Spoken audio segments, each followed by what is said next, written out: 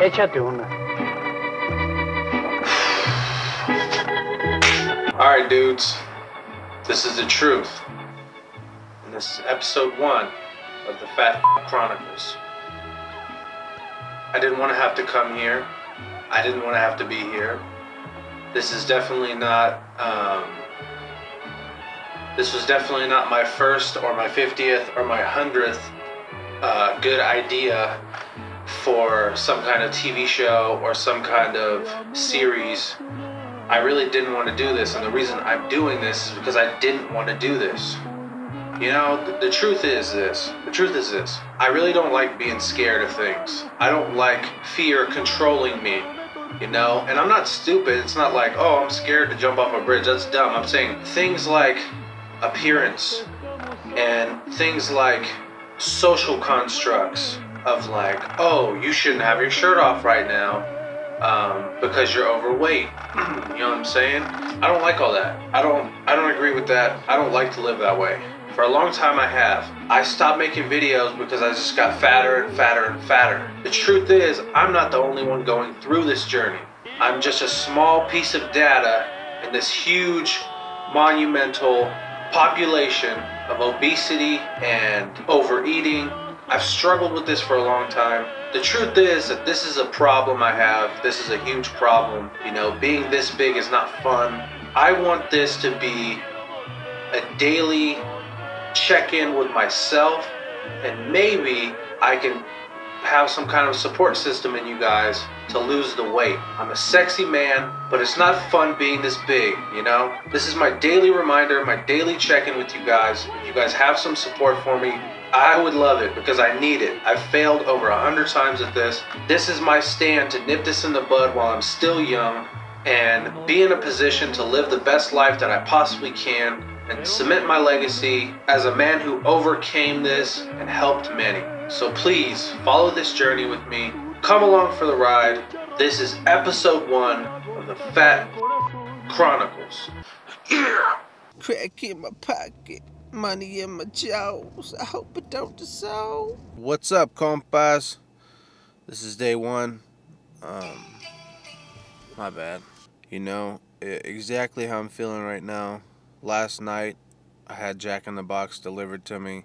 I still feel the residual, the residual addictive effects of you know fast food. So I'm going to my mom's house. Um, she has a scale. I'm gonna weigh in. I want to get my weight. Um, this is a journey that we're, we're on together. I'm bringing you into this journey.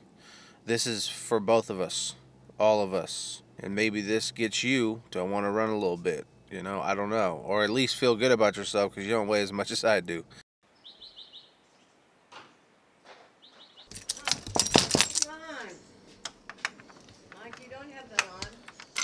Thanks. Let me.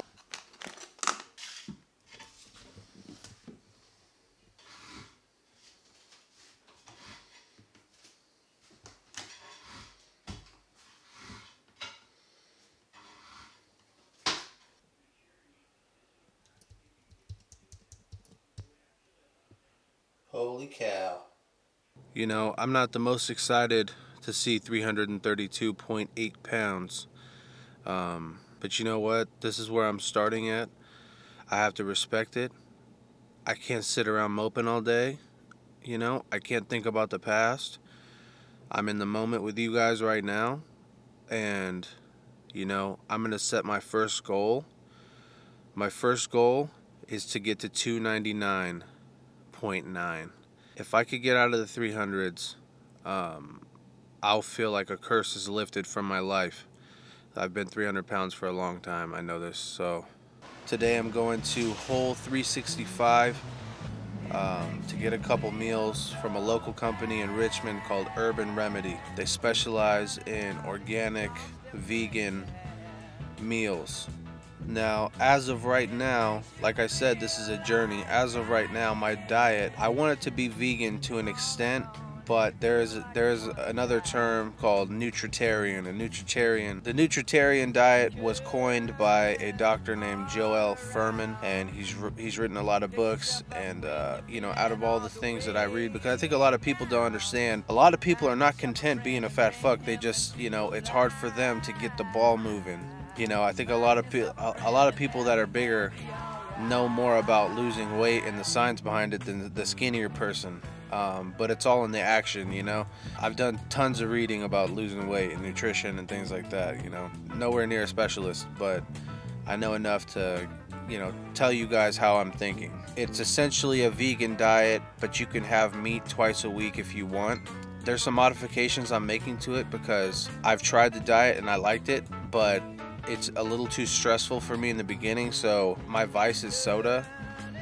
So you know, I'm gonna switch to just better alternatives for now to soda because I last time I tried to give it up all at once, you know, I just ended up going to Jack in the Box or something. So this is like our little science project, you know. Uh, I'm gonna eat primarily nutritarian. That'll be my base. Big puff. well, I definitely agree with you about the Western medicine. Uh, I will see you around here. All right. What's up, folks? Let me show you guys what I got. I have a, uh, a podcast today with a very, very awesome entrepreneur here. He owns Empire Barbershop. Um, so I do want to be tip top.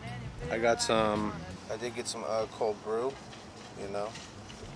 This is the Chia Parfait. Um, extremely high in fiber, which is good. The only thing I don't like about this is that there is some sugar in it. Um, you know, they mask it with saying stevia and stuff, but over time, I'd like to not eat as much sugar, but there's not a whole lot in there. I mean, it's overall pretty healthy. Here is the chocolate and banana meal replacement. Let's see what uh, what's in here.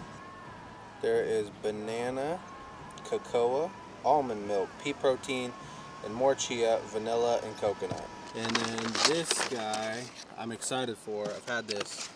It's really good. It is a salad. This is called the ensalada bowl.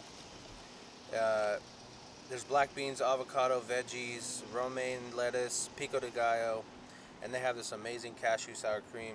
Uh, this is the best salad I've ever had. I should be good until probably four or five. Come back and get some dinner somewhere. I got my stuff, you know. I have a podcast to do now, so let's go to the podcast and uh, let's get it rocking. What's up? It's your boy D from Empire Barbershop. Check out my man Mike, Fat Chronicles. Get your weight off, baby. What's up, peeps? I'm super hungry right now. I just finished the podcast with Derek from Empire Barbershop there in Sun Valley Mall. Super smart dude. You know what I've started to notice because this is a science project. After a certain amount of time, I want to say, man, not even an hour and a half later, I was getting really bad cravings. There's a lot of fiber in here. I'm hoping that kind of curbs the cravings a little bit. If you guys have any tips, for what you do about food cravings. People that have lost any type of weight, you know, please throw them at me because I get these intense cravings, and most of the time, uh, when I when my cravings become really bad, that's when I just quit. You know what I mean? But I'm really de- I'm determined not to quit. Today's day one. You know what I mean? I'm not quitting. So um, I was supposed to go on a walk. With my little sister.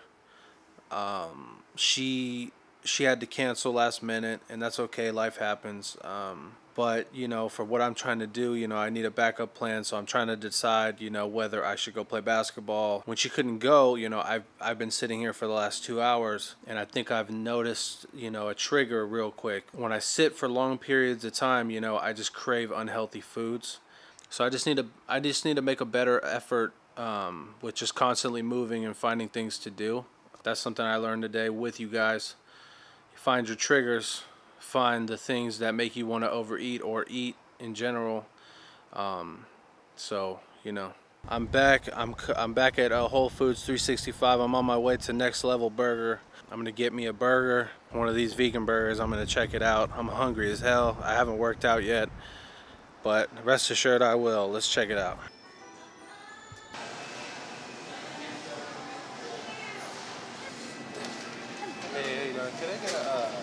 The SoCal and the three bean chili.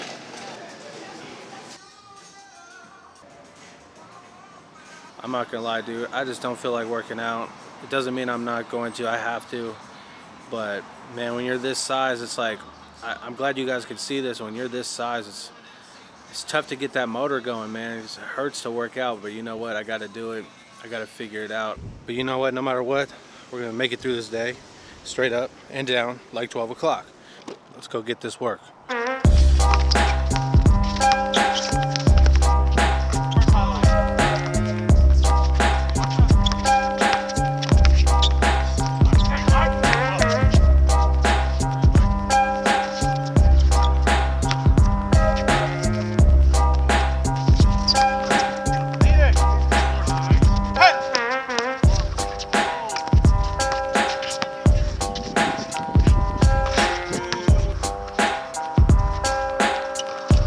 Best day I've had, honestly, in, in a long time. So, God, thanks you guys for uh, for checking it out, man.